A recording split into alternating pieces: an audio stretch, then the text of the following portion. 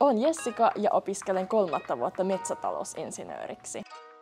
Ensimmäisenä vuotena me käydään hyvin pitkälti perusasiat metsästä, esimerkiksi puulajit, metsätyypit ja tämmöisiä käytännön toimenpideitä, mitä metsässä tehdään. Sitten myöhemmin, kun syvennytään opintoihin, niin meillä on muun muassa sovellusten käyttöä.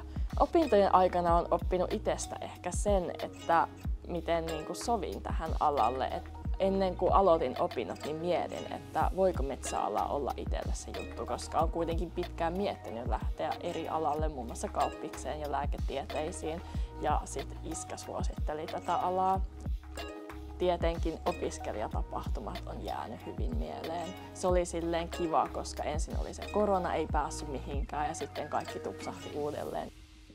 Opintojen aikana on päässyt hyvin tutustumaan ihan muidenkin alojen opiskelijoihin. Olen lähtenyt muun muassa ihan ensimmäisenä vuonna jo tähän meidän ainejärjestö Jimbo ryn toimintaa, jossa pääsin näkemään ihan muiden vuosikurssin metsäalan opiskelijoita. Joensuussa on mun mielestä parasta se, miten kaupunki ja luonto yhdistyy täällä. Ja tykkään siitä, että kaupunki on tosi kompakti, se ei leviä hirveän laajalle.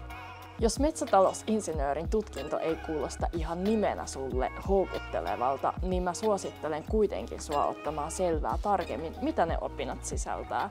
Koska kuten mulla, mulla oli ihan muut alat mielessä, mutta kun kävin ottamassa enempi selvää, että millainen se ala on, millaisia opinnot on, mihin voi työllistyä, niin sehän oli mun harrastus käytännössä, mitä täällä tehdään.